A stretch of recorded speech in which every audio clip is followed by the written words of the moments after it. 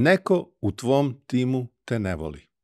Dobro, ne želim zloguko da najavljujem, moguće da u tvom timu svi te vole. I moguće da u svim tvojim prethodnim timovima su da svi voleli, ali u tvom sadašnjem timu postoji određena verovatnoća da ima jedna osoba ili više osoba, ali recimo za početak jedna osoba koja se ne smeje tvojim šalama. I par puta je rekla nešto nezgodno na sastancima tima, što je zvučalo baš kao kritika nekog tvog stava ili postignuća ili rezultata. I ta ista osoba ne smeši se kad te gleda. I isto tako, evo, potrebno da nastavim, zar nikad niste bili svi vi radni ljudi ovog sveta u toj situaciji da u vašem timu ima neko ko nije potpuno na vašoj strani. Ko nije na mojoj strani, taj je protiv mene, neko me ne voli. Izveo sam ovaj brzi induktivni niz gde sam doveo nas do onog čega smo počeli. Meni se čini da mene neko u mom timu ne voli. Ne mislim na moj tim, moj tim je božanstven i svi me vole, ali tvoj tim, za nemaš takvu osobu. Ako imaš, imaš problem.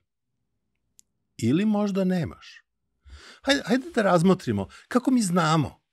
Kako mi znamo? Kako ti znaš da te ta osoba ne voli? Upravo sam nabrojao. Uh, ne smeje se tvojim šalama. Hu, hu, mnogo tužno. Šta ako se ne smeje tvojim šalama? Ajmo dalje. Povremeno je kritikovala nešto što si uradio, postigao, izgovorio. Zaista? Mislim, jer je to tako nečuveno. Jer svaka stvar koju si u svom životu uradio savršena i genijalna, tako da ne postoji nikakav prostor da neko može da ih kritikuje, osim ako te ne voli. Isto tako, to što se neko ne smeši, čekaj, ima nešto realno u tome, jer tako mi zaključujemo.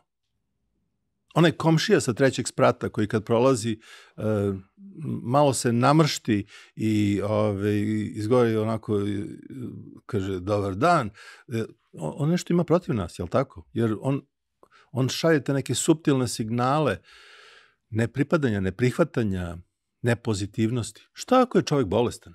Šta ako ima problem kad se ide na stepenici i namrštenje zato što ga boli kuk? Šta ako je stidljiv? Ako ne voli da se javlja ljudima, makar to bili ljudi s kojima živi u istoj zgradi? Šta ako tvoj kolega za koga misliš da te ne voli, u stvari ne misli o tebi toliko puno i nema uopšte jasan stav da li te voli ili ne voli, možda je samo izabrao pogrešne oblike predstavljanja svojih stavova a, koji tebi na neki način se sklapaju u ideju da te ne voli.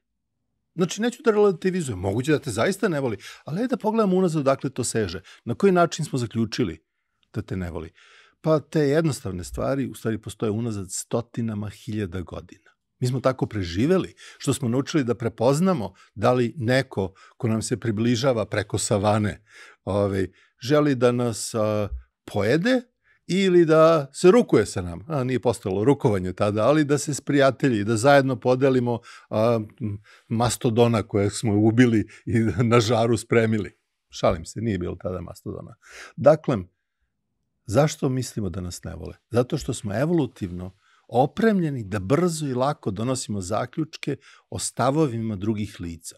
Ako im se ne vidi dovoljno očiju, ako su namršteni, oni u stvari, evolutivno mi to čitamo, štite svoje oči jer se spremaju da uđu u sukob sa nama. Oči su veoma dragocen organ i onda oni ih pokrivaju da ne bi bile oštećene u nekoj budućoj borbi. Ako se neko kezi i pokazuje svoje očnjake, očito želi da nas ugrize, osim ako se ne smeši u širinu, što je novi artefakt samo poslednjih ovaj, par desetina hiljada godina, jer onda u stvari govori imam zube, ali neću ti pokazivati koliko bih mogao da te ugrizem, nego samo da vidiš da nisu krvavi, da nisu namenjeni borbi. Evolutivno, mi smo opremljeni da brzo i lako, olako možda baš previše lako donosimo zaključke od toga, o tome tako nekom delikatnom pitanju kao što je da li nas neko voli ili ne voli, podržava ili ne podržava. I znate šta je zanimljivo? Mislim, vickasto i zanimljivo, zaista, taj evolutivni mehanizam koji je doveo do toga da to radimo tako površno i tako olako, nam nudi i razrešenje. I to razrešenje isto tako olako i površno i sastoji se u tom famoznom izboru fight or flee, da citiram na engleskom, ili ti da se borimo ili da pobegnemo, to su nam jedini izbori kada se nađemo u opasnoj situaciji, kaže nama naša evolucija. Zašto? Jer ako, na primer, naletimo lupiću sada u džungli na lava, možda bi bilo pametno pobeći od njega. Ako, s druge strane, neko ko je u našim očima nedovoljno velika konkurencija nama, iskazuje veoma agresivne činove, pokušava neko ko je upola naše veličine da nam ukrade nešto, da nam uzme sendvič ili novčanik ili bilo šta drugo, ima smisla da se borimo za svoje vlasništvo i za svoj integritet i za svoju dobit. Ne da bežimo od njega i kažemo, dobro, dobro, evo ti sve što si želeo da uzmeš. Znači, taj jednostavni izbor nas je očuvavao tokom evolucije, unazad hiljadama i hiljadama godina. Problem sa tim mehanizmom je što on ima ograničenu vrednost danas, u složenim ljudskim interakcijama. Valjda bi trebalo nakon svih tih hiljada godina da smo izgradili i neki srednji put, neki put spoznaje i kreiranja i konstruisanja rešenja koje nije zasnovano isključivo na bežanju i borbi. Zato što taj srednji put, taj integrisani, konstruktivni, inteligentni put je u stvari moć savremenog čoveka. Tako da kad sledeći put ti bude jasno da te neko u tvom timu ne voli, mrzi, sabotira, kritikuje, ne podnosi ili samo gleda ružno, molim te da uradiš sledećih nekoliko testova. Proveri da li je to istina, tako što ćeš mu pružiti ruku, dati mu šansu da se iskaže u direktnom komuniciranju o temama i idejama koje ti misliš da vam mogu biti, ako ne zajedničke, onda bar dodirne. Daj mu šansu da ti se obrati direktno i da ugradi u svoj stav, u svoju komunikaciju, u svoj izbor reči ono što će biti definicija njegovog stava. Da li će ta definicija da ti bude i dalje negativna? Ne znam. Moguće da ta osoba te zaista ne voli, ali isto tako moguće je da ćeš otkriti nešto magično. Da ona u stvari nije imala velikih i značajnih misli o tebi.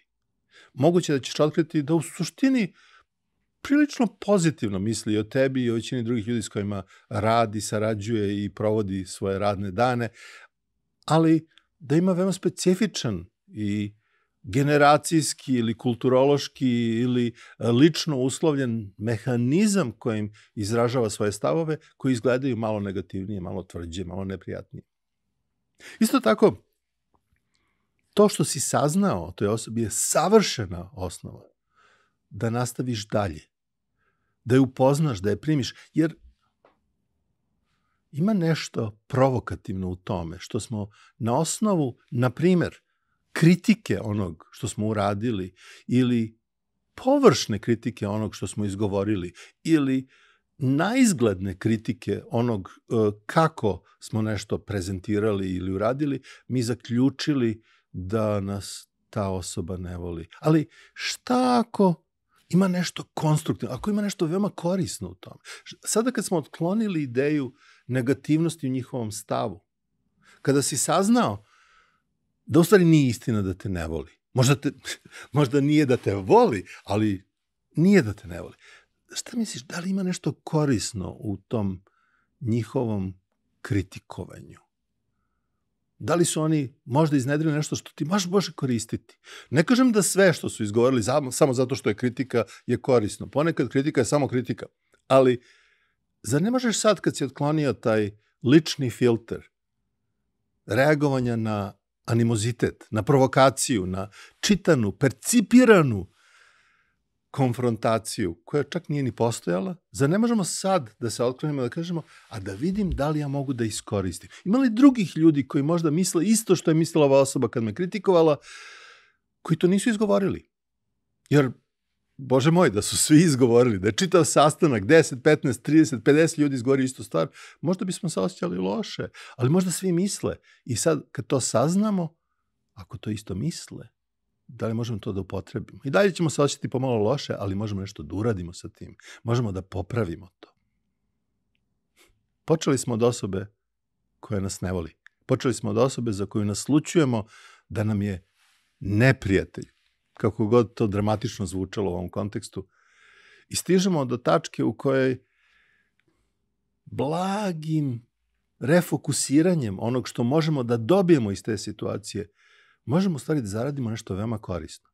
Možemo da imamo osobu sa kojom se razumemo i možemo da sarađujemo i možda nećemo biti najbolji prijatelji na svetu, ali definitivno nećemo biti neprijatelji i imamo polaznu tačku da ugradimo ono što smo dobili, što je bio uzrok da se osjećamo odbrambeno i nesigurno i negativno i da mi režimo i pokazujemo svoje očnjake sa ove strane jer nam se učinilo da ih vidimo sa druge strane, možda ćemo moći mnogo da dobijemo od tog jednog nepripitomljavanja našeg reagovanja, nego tako što ćeš shvatiti koliko ti ide u korist, da uvek dovedeš u pitanje taj brzi, bitan, ali pomalo prevaziđen prvi refleks o uspostavljanju ko je neprijatelj, a ko je prijatelj u ovom našem savremenom, komplikovanom i nadasve dinamičnom životu.